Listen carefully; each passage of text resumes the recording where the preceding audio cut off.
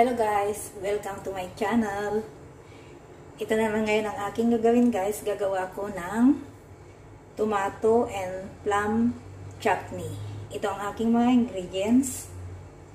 Ito yung curry leaves, green chili, at yung aking garlic, ang aking ginger, ang aking dalawang tomatoes, at apat na plum. At yung aking mustard seed. At syempre, hindi nawawala ang ating asin. At ang aking jaggery. Ang jaggery, yung jaggery ay uh, granite ko guys. So ngayon guys, samahan niya akong maghiwa ng aking mga ingredients. So una ang aking hiwain ay ang aking garlic.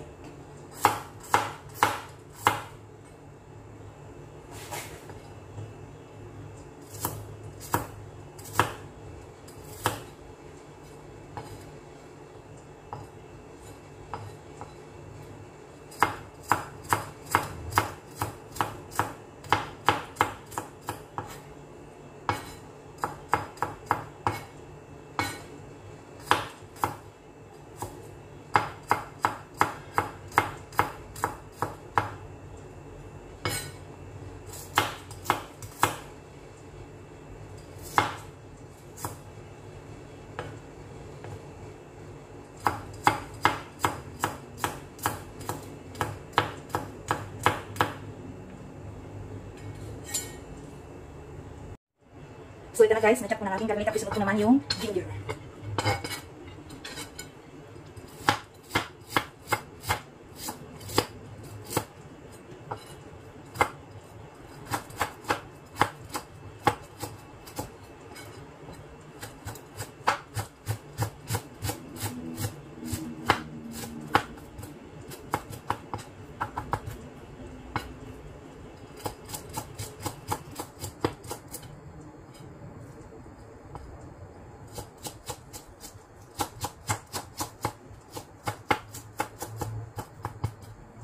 Ito guys yung ginger. At ang green chili. Pag ayaw yung maanghang, alisin nyo yung kanyang uh, buto. Pag gusto nyo naman masyadong maanghang, huwag nang alisin. Kasi ang chutney ay masarap yung maanghang. So ngayon ay hindi ko alisin yung buto niya. Dahil gusto ko medyo maanghang.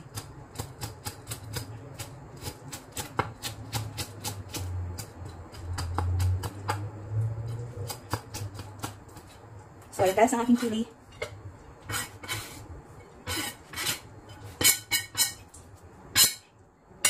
So, yan guys. So, ngayon naman guys is, ang ating hihiwain ay ang tomato at plum. So, kailangan natin ang ating blender dahil ito ay i-blend, i-blender ko siya.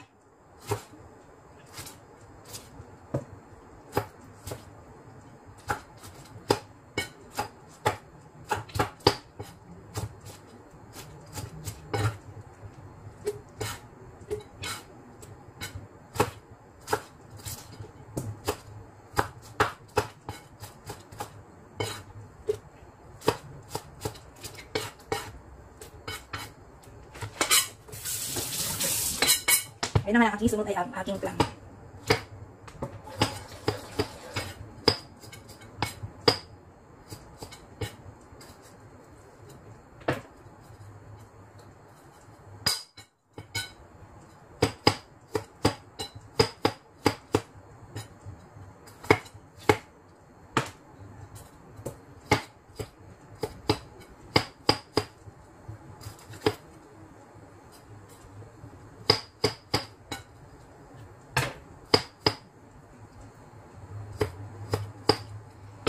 Ito na guys. Nakat ko na. Ngayon ay i-blender ko na.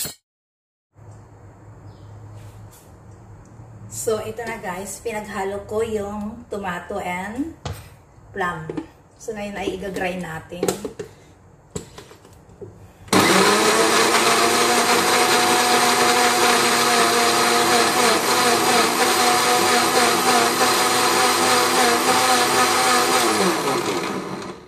So, ito guys, yung kanyang kulay. Ang ganda. Pinkies. So, ngayon guys, ay samahan nyo akong magluto. So ngayon guys, ang unang gagawin ay lagyan ng oil. Kahit anong oil pwedeng gamitin. Yan. Tapos antayin nating uminit. Tsaka natin ilagay yung ating mga ingredients.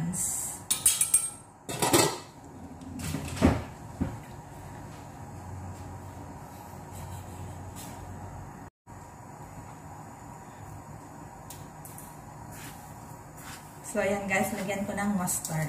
Mustard seed.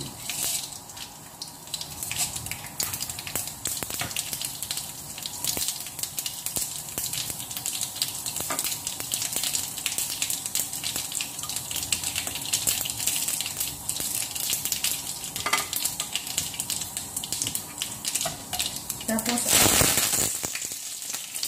curry leaves. Curry leaves.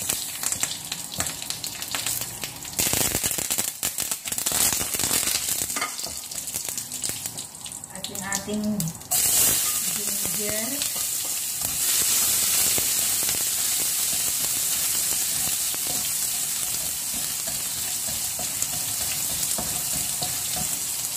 Garlic.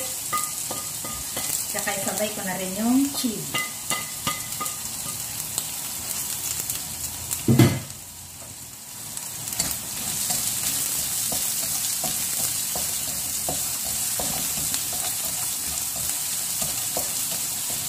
So yan guys, lutuin lang siya ng uh,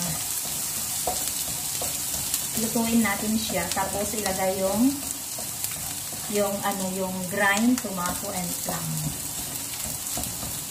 Mahinang apoy para hindi masunog.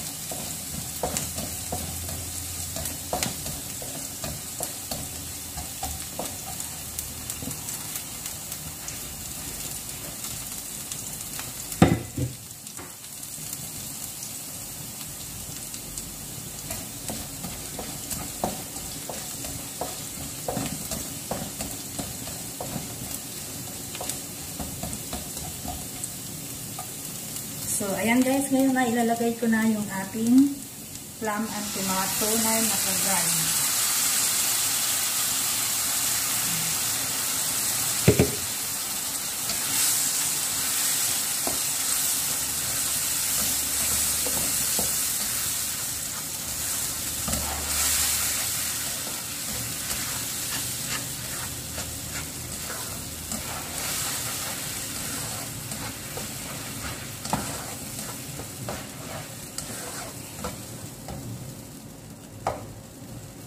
So, ayan guys.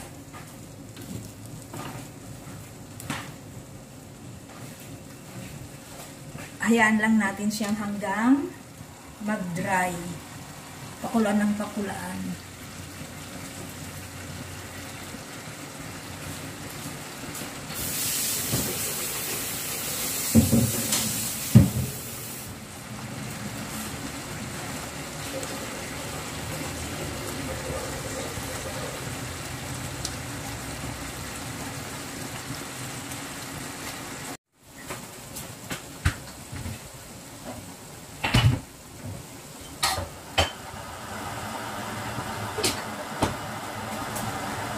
So, haluin natin siya guys. Ayan ang itsura. Antayin natin hanggang siya lumabot at lumagas yung oil.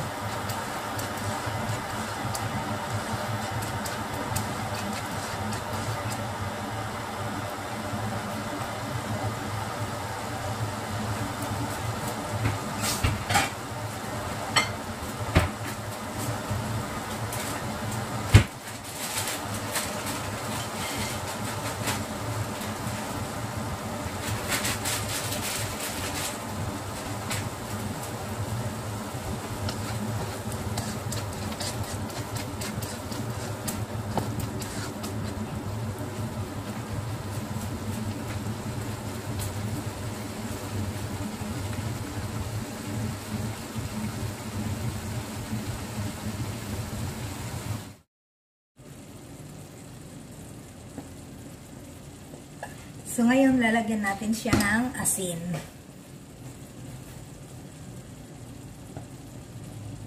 Tsaka yung ating jaggery.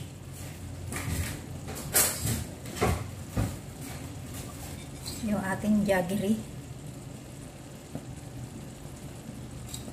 Yan. Ito yung tomato plum chutney.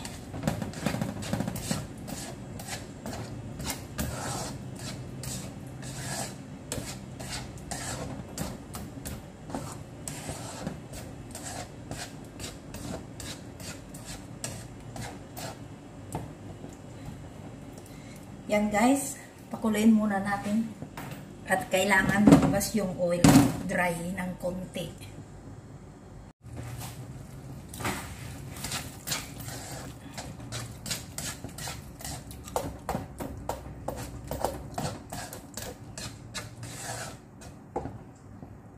Ayan na guys, malapit na maluto.